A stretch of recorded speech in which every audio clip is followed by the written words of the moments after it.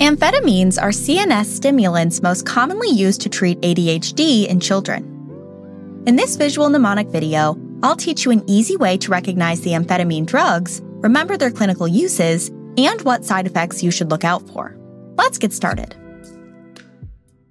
In this video, we're at the local outdoor amphitheater with this boy and his mom. This amphitheater is our symbol for today's topic, amphetamines. Amphitheater for amphetamines. Get it? Most of the amphetamine drugs are easy to recognize because they actually end in amphetamine.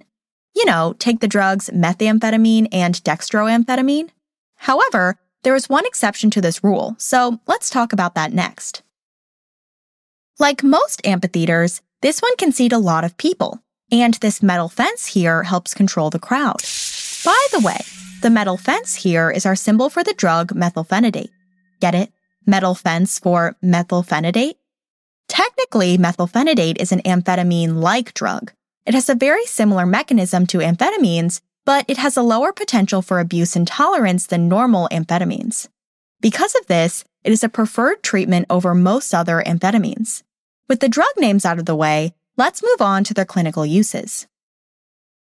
Like most kids at the theater, this kid here is pretty excited for the show and has a lot of energy. He just can't stay still, as he excitedly points to the balloons.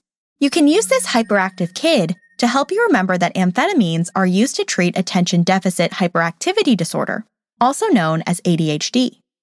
ADHD is commonly diagnosed in childhood and has the main characteristics of hyperactivity and difficulty with attention. Amphetamines are CNS stimulants, meaning they alter chemicals in the brain to increase alertness, attention, and activity. It may seem counterintuitive that a stimulant would help someone who is hyperactive, but these drugs have been proven to help the attention span and focus of people with ADHD. It's important to note that amphetamines do not cure ADHD. Rather, amphetamines help to treat the symptoms of ADHD only. The kid's mother is clearly exhausted from trying to keep up with her hyperactive son. It looks like she's been up all night and could nod off at any second. Just like this mom looks like she could fall asleep at any second, amphetamines are used to treat narcolepsy. You know, the condition that makes you fall asleep suddenly during the day. This should make sense, knowing that amphetamines are CNS stimulants, increasing your energy and attention spans. Related to this treatment of narcolepsy is the ability of these drugs to cause insomnia. Since these are CNS stimulant drugs, they work similar to caffeine and should not be taken at nighttime. To reduce the chance of experiencing insomnia, the last dose of amphetamines should be administered before 6 o'clock at night. By administering the dose with plenty of time before bed, sleep is less likely to be disturbed. Make sense?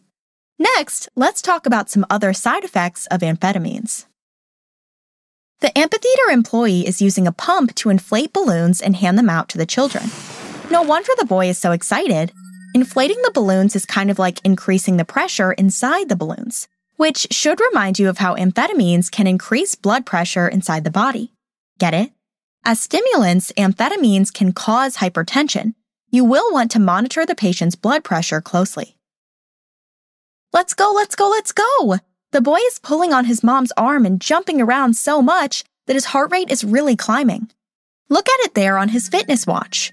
Amphetamines can cause a high heart rate, also called tachycardia, which is a common side effect of stimulants. Heart rate should be monitored in patients taking amphetamines. This boy's mom had packed in some snacks to munch on during the show here at the amphitheater. But the boy doesn't want to sit and eat, he wants to move. He's thrown the food in the trash. Just like this boy doesn't feel like eating, amphetamines can suppress appetite, making the patient feel like they're not hungry. If the patient isn't eating enough, this can lead to weight loss and growth suppression. As the nurse, you should monitor the patient's height and weight, especially if the patient is a child. This isn't the family's first time to the amphitheater, nor will it be their last. The mom here is holding a season punch pass, suggesting that she brings her boy to the amphitheater often. Anyways, this season pass is our symbol for dependence, since it keeps you coming back for more, right? Amphetamines can cause tolerance and dependence and therefore have a high abuse potential. People who become addicted to amphetamines will need a higher and higher dose to achieve the same effect and avoid withdrawal.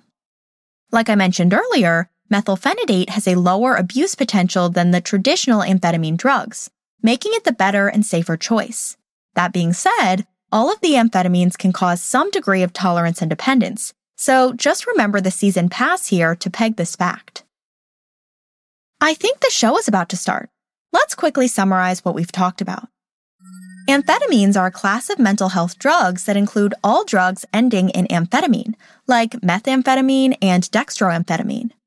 The exception to this rule is methylphenidate, which is an amphetamine like drug that works similarly but has a lower abuse potential. Amphetamines are CNS stimulants clinically used to treat ADHD and narcolepsy. Amphetamines can cause insomnia, so be sure to give the last dose before 6 p.m. to avoid interfering with nighttime sleep.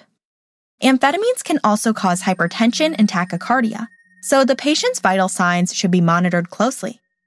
Other side effects of amphetamines include appetite suppression, leading to weight loss and growth suppression. As the nurse, be sure to closely monitor the patient's height and weight, especially in children. And lastly, keep in mind that amphetamines can cause tolerance and dependence, leading to a high abuse potential. Well, let's go take our seats. And let's hope this boy can calm down a little during the performance, for his mom's sake. I'll catch you in the next. Thanks for watching.